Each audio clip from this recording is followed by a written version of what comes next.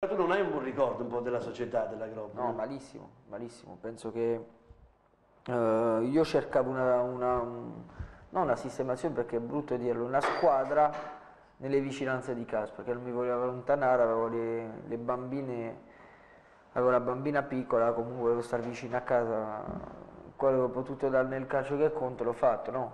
Anche nel mio piccolo. E mi è arrivata questa opportunità con, eh, con il presidente Ceruti e poi ho conosciuto di conseguenza anche Magna come direttore. Mi sa il giorno stesso che ho firmato con l'Agropoli sono stati eh,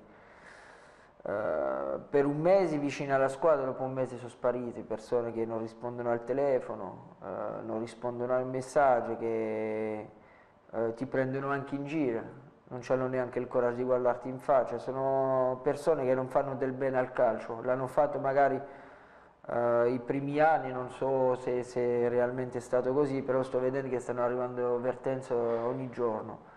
È un peccato perché io conosco anche i tifosi con cui ho avuto un ottimo rapporto. Ehm, È una piazza dove si sta bene, si può lavorare tranquillamente, comunque queste persone non fanno bene ad Agropoli.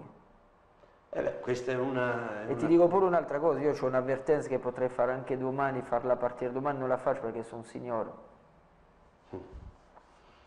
Questo credo che i tifosi eh, te, te ne ringrazieranno per lungo tempo. Eh beh, sono umiliazioni che la, che la città sta purtroppo avendo, ma andiamo avanti.